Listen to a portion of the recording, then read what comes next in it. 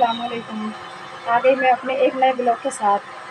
आज के ब्लॉग में मैं क्या बताऊँ, मेरी तबीयत ख़राब हो रही तो मैंने तो ब्लॉग बनाना बंद कर दिया। बिल्कुल नहीं बना पाई टाइम ही नहीं मिलता, कैसे बनाऊँ? क्योंकि ब्लॉग बनाने के लिए टाइम भी तो चाहिए।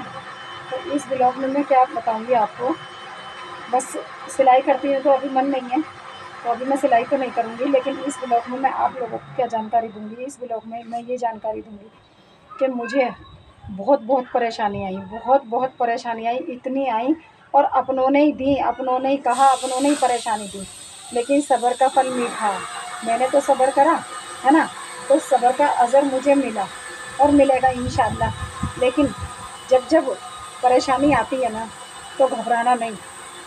जब परेशानी आती है तो कुछ देर के लिए आती है, कुछ दिनों के लिए आती है फिर सब ठीक हो जाता है। ठीक है ना? सही कह रही है ना? ये मेरी सोच है। कुछ दिन के लिए आती है, सब ठीक हो जाता है और वो लोग देखते रह जाते हैं। है ना? किसी का सोचा हुआ नहीं होता, जो कुदरत ने लिख दिया वो होता है। उस पर यकीन रखें, मेरे मालिक पे यकीन रखें, अल्लाह ताला पे यकीन रखें, जो कि मुझे यकीन है अल्लाह ताला पे और इन सब कुछ अच्छा होगा।